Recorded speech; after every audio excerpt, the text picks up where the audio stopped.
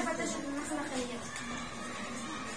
القبعة السوداء هناك لغز لا يزال هناك لغز لا يزال يحير العلماء وهو عودة الزوار صاعدين الماء إلى الشط الذي جاءت منه أمتها رغم أنها جاءت بعد موت الجنود أنا القبعة الحمراء عشر بقدر إلهي في خلق في خلق في خلق في خلق الله في خلق الله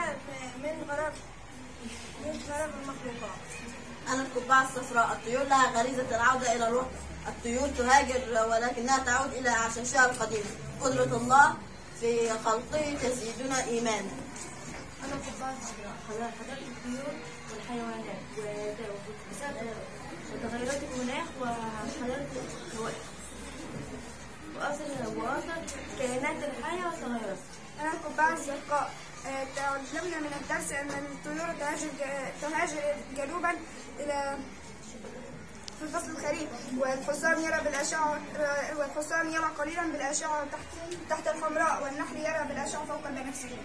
أحسنتم. طبعا أشعر وأنا واقف بين زميلاتكن أننا أقف بين أجداد الفراعنة أليس كذلك؟